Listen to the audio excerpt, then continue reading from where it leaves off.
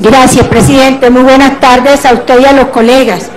Yo quiero hacer, dejar dos constancias, presidente. La primera, mi rechazo por la manera como el gobierno nacional ha violentado a los monumentos, los sitios emblemáticos de plazas, parques del país, arropándolos con banderas alusivas al sí de la paz.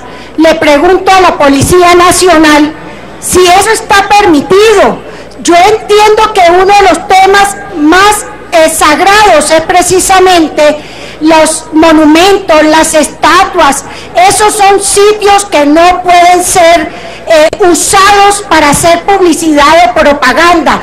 Yo me pregunto si la policía va a actuar en ese caso contra aquellos que están violentando el régimen de ese tipo de institucionalidad.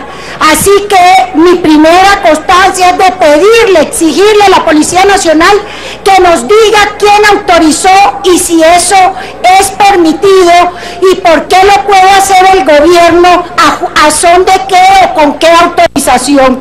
Y mi segundo tema de la constancia, presidente, es rechazar que el gobierno nacional quiera involucrar políticamente en este debate a los militares y policías para que salgan a apoyar un proceso de paz y más concretamente el plebiscito, hasta donde entiendo la constitución política es muy clara y prohíbe que nuestra fuerza pública no puede precisamente votar para que no pueda ser beligerante ni partícipe en este tipo de procesos políticos. Por eso también rechazo la manera como el gobierno, maliéndose de todo tipo de instrumentos, ya no le satisface que el pueblo colombiano con un umbral del 13% vaya a votar un plebiscito, sino que quiere usar los monumentos y ahora nuestra fuerza pública. Yo sí le pido al secretario del Congreso que por favor le transmita esta...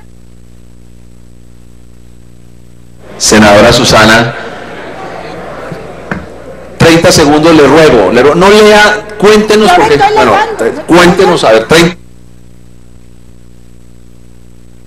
Presidente, yo no estoy leyendo, simplemente quiero pedirle al secretario que mi constancia se la remita al Procurador General de la Nación. Gracias, presidente.